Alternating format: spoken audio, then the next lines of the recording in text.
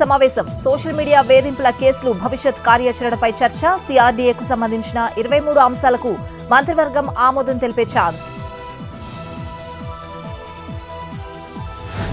నేడు సచివాలయం వద్ద వరద నీటి సంపులు ప్రారంభించనున్న సీఎం రేవంత్. ప్రజాపాలన విజయోత్సవాల్లో భాగంగా నిర్మాణం.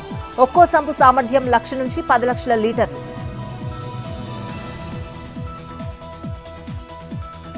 ఉభయ సభల్లో రాజ్యాంగంపై చర్చకు కేంద్రం అంగీకారం అధికార విపక్షాల మధ్య సయోధ్య పార్లమెంట్ ప్రతిష్టంభనకు తెరపడే అవకాశం.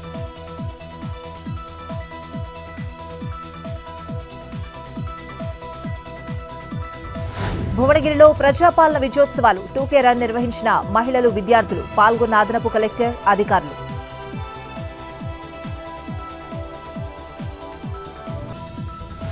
రైతు భరోసా కేంద్రంలో సబ్సిడీ ఎరువులు ఎత్తుకువెళ్ళిన దొంగలు కర్నూలు జిల్లా ఆదోని మండలం పెద్ద హరివాణంలో ఘటన.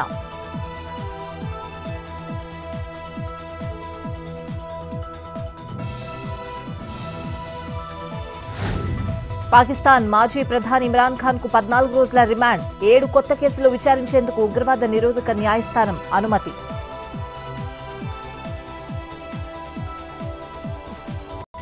మరికొద్ది గంటల్లో పెళ్ళిపీట లెక్కబోతున్న నాగ చైతన్య శోభిత అన్నపూర్ణ స్టూడియోస్లో వివాహ వేడుకకు ఏర్పాట్లు.